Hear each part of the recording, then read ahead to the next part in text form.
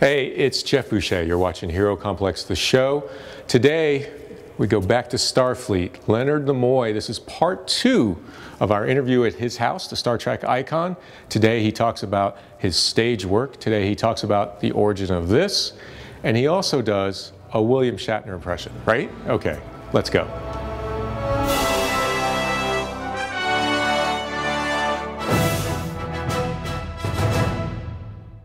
As far as, uh, you know, when you look back, uh, feature films, television, and the stage as well. Uh, is there the stage, for instance? That's a very, very different exercise than than working on a film set or a television set. Um, what uh, what stage experience do you look back on now uh, with great fondness?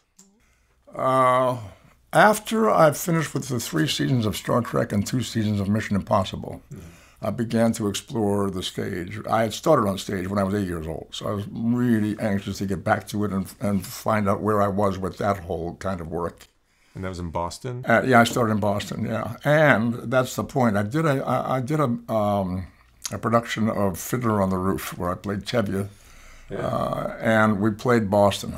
And it was my first time back on stage in Boston since I had left in 1949.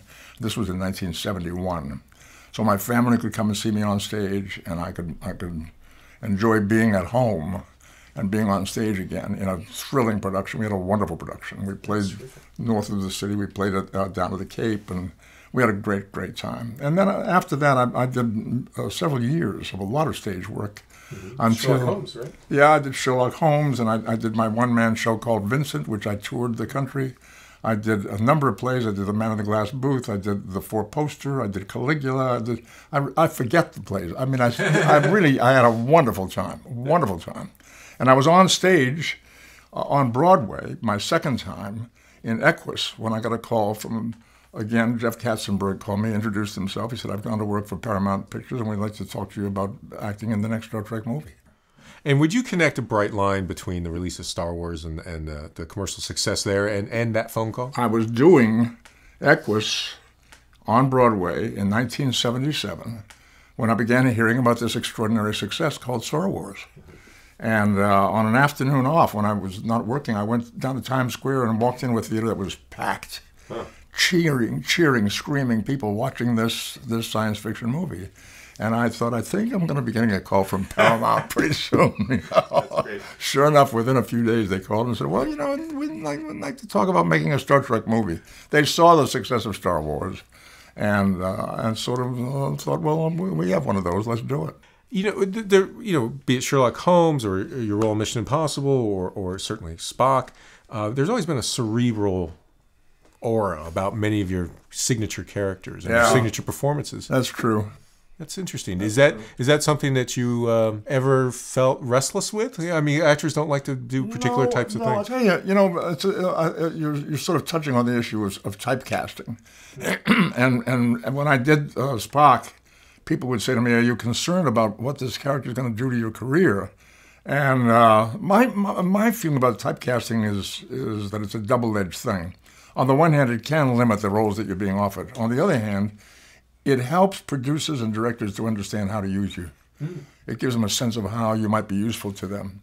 And I have never needed work, I've never been out of work since Star Trek went on the air, so it's worked well for me. There's one major exception was uh, the, a role that I was offered in a, a, project called A Woman Called Golda.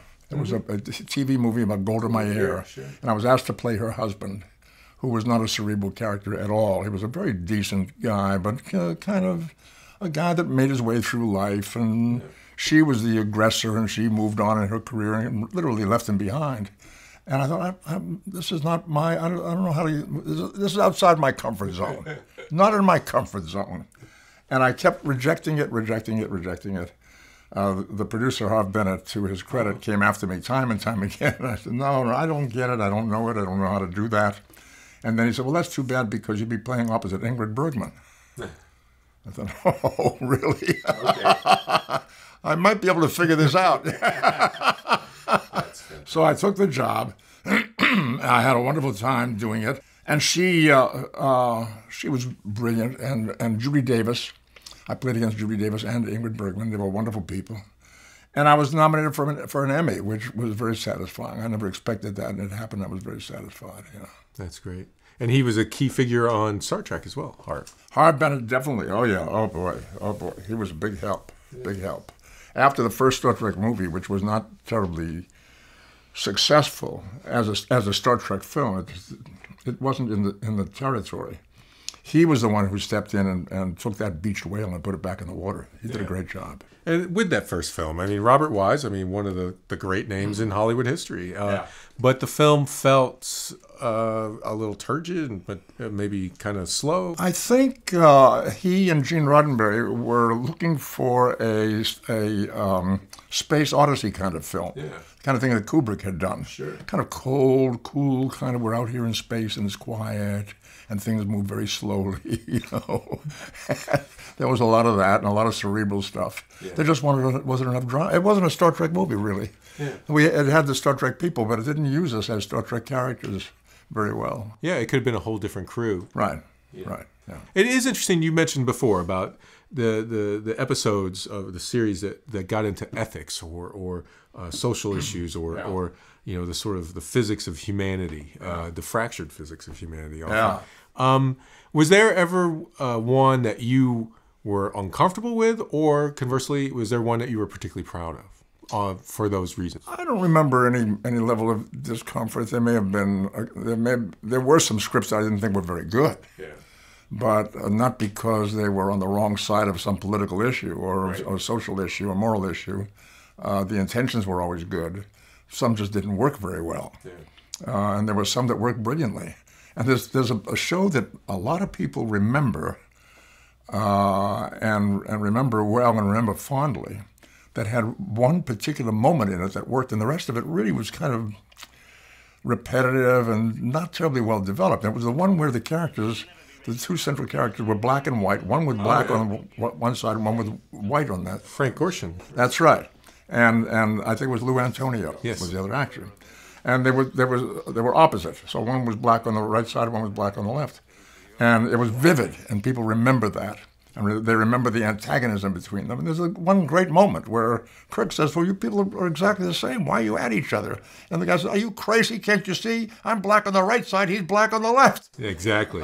That's that's the moment in the show. That's it. The rest of it is just kind of well, you know, we're fighting each other. Well, It was uh, one of the great moments, is what it was. It's it is it was a, a fantastic moment. And it's interesting to, to see the show and, and some of the things that happened. I mean, who would expect to fight alongside Abraham Lincoln? I mean, how, how you know to find yourself on an adventure on another planet with Abraham Lincoln? Now he's fighting vampire. Uh, That didn't work very well, as I recall. It was an interesting attempt that did not really come to life like four score and seven years ago. and you've played this character in so many different uh, media and different medium. Um, I mean, you've uh, feature film, television, uh, animated, uh, Right. cartoon, video games. Uh, That's that's. He's been with you quite a while. yeah, a lot, a lot. How do you how do you uh, how do you feel about uh, where you left him with the JJ film, uh, which was great? I feel very, very good about it. Zachary Quinto is a very intelligent and very talented actor. He really is. He's really, really good. He knows what he's doing, and he knows how to do it, and he's, he's has the training to do what he what it is that he wants to do. So I'm I'm very pleased with where the character is, and I had a good time on the last that last film, um, dropping in there and and particularly playing a scene with him, which was really interesting. Uh, I feel good about the character. I feel the character is still very, very useful and, and very interesting, very, still somewhat enigmatic. Uh, I think I had pretty much played out any enigma about the character. Pre- people pretty much knew who I was and what was going on with me. But Zachary has the opportunity to explore some new territory because he, he brings a new uh, a new condition of his own to the character, and he will. the uh, the familiarity that the audience has with the characters, and, and as you're saying, uh, you know, the the the as the mystique goes away, uh, it's replaced by connection and, and, and familiarity. Um, that that's that's a difficult balance too, though, as you move forward, because at some point you want to do fresh and new things with the character. Yeah, but you also don't want to be contrived. Well, I had the opportunity to do that because the character went through some cycles, Yeah. the whole death in- thing. including death and resurrection. You know, that's a pretty good cycle right there. so I, I, uh, I, I was given good writing. I was given a good opportunity to explore the character. This has a long history. Uh, it traces back to your childhood uh, and a, a very compelling moment. Uh, do you mind telling We me? We had a beautiful script written by Theodore Sturgeon, wonderful science fiction writer. Uh, the script was called Amok Time, A M O K, Amok Time. And uh, it was lovely. It was poetic, it was exciting, it was dramatic. And it was about Spock having to go home to, the, to his home planet of Vulcan to be married, to fulfill a marriage betrothal. And go home or die was the story. And Kirk had to get Spock to his home planet to save his life. So when we got there, we discovered that the um, the wedding ceremony is to be performed by a, a character named T'Pau, uh, played by Celia Lovsky, a wonderful um, Viennese actress, and uh, she she's the matriarch of the planet. She's a powerful figure on Vulcan, and I'm to approach her, and I'm I'm, I'm very sensitized to the idea that this we're, we're seeing other Vulcans for the first time. Right. We're on the Vulcan planet for the first time. What's Vulcan all about? Right. What are the what are the what are the mores of the culture? What what kind of what can, what can I find? What can I show an audience or bring to an audience about the Vulcan people? So as I'm approaching her and we say hello to each other, and she says, "Welcome home," and I don't remember exactly what I said, uh, what the dialogue was, but I said to the, director, uh, "I think we need something that Vulcans do when they greet each other because humans have certain kinds of things that we do. We shake hands, we salute each other, we bow to each other in certain cultures." He said, What would you like to do? And that's where I came up with this. And it came from an experience that I had that obviously made a big impression on me because it happened when I was about eight or nine years old. I was in a synagogue with my family, my uh, in an Orthodox synagogue. The men sitting downstairs, the women upstairs in the balcony, and with my grandfather, my father, and my brother and myself. Comes a point in the service where the, a group of men, I think there must have been five or six of them, is my memory, uh, they are called Kohanim. They are members of the priestly tribe of the Hebrews. At this particular moment, they get up in front of the congregation, face the congregation from the stage, what's known as the bima in Hebrew, and they they chant a particular prayer, which is translates into "May the Lord bless you and keep you. May the Lord cause His countenance to shine upon you. May the Lord turn His graciousness unto you and grant you peace." They chanted. They were chanting it in Hebrew Right. and I'm too young to know what it meant. I'm too young to know why they were gesturing, but they were doing this with their hands facing the congregation. And while they were doing that, my dad was saying to me, Don't look. Uh-huh. Well, there's this crazy, fervent chanting going on. They're shouting this prayer in Hebrew. And, and they're shaking and they're rocking. It's, it was kind of a, a kind of a frenzy.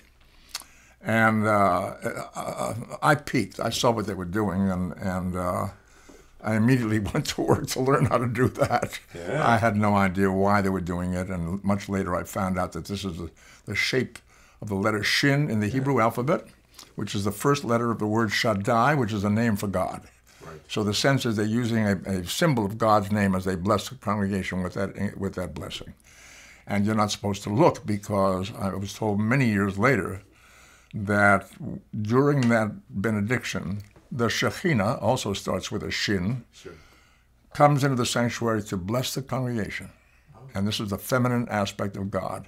And you don't want to see her because the light that emanates from a deity could hurt you, could blind you, or even worse. So we introduced it that day. The director said, okay, let's do that. Wow. And that's how it got into the show. And immediately, immediately on the street, people started doing that. I thought, whoa, we've, we've touched we've touched something. It's one of those magic things that happens sometimes when you uh, present an idea and a, big yes comes back. You know? It's been a big yes ever since. A big yes, absolutely, Yeah. absolutely. Well, fantastic. Well, what a treat! It's always nice to see you, Great to talk to you. having us in your home. Let's do this once a day for, uh, you know. well, wait. I have one last question for you. At, when we had you at the film festival, you mentioned uh, uh, Shatner. You did Shatner doing the human line. Do you remember that? Oh yeah, yeah. Was steer clear of that? It was at the end of Star Trek II. Spock had died saving the ship and the crew, and uh, Shatner's doing the eulogy for Spock, and Spock's body is in a black tube that's going to be shot into space.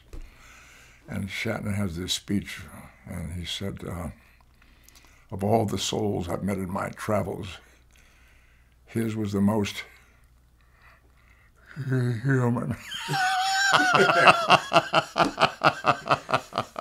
You were inside the giant tic tac, like, what the heck is going on out there? it was very touching, actually. Yeah. It was. It was. Well, thanks for all the, the space travels and, and years and years of insight. Live long and prosper.